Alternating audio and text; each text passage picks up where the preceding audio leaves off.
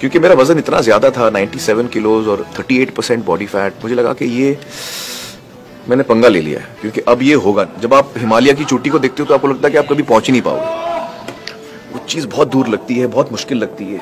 आप निराश हो जाते हो, पहले दिन आप करते हो और आपको लगता है कि यार, अभी तो शुरुआत ही है, बहुत दूर जाना है। तो ये जो निराशा की थॉट्स आते थे मेरे मन में, मैं उनको हटा देता था। और मैं सोचता था जो भी है, सिर्फ़ आप इस दिन के बारे में सोचो।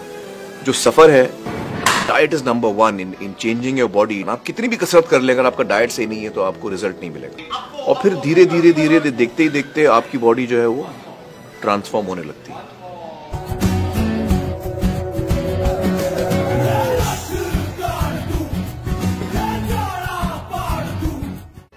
क्योंकि मेरा वज़न इतना ज़्यादा था 97 किलोज और 38 परसेंट बॉडी फैट मुझे लगा कि ये मैंने पंगा ले लिया है, क्योंकि अब ये होगा। जब आप हिमालय की चोटी को देखते हो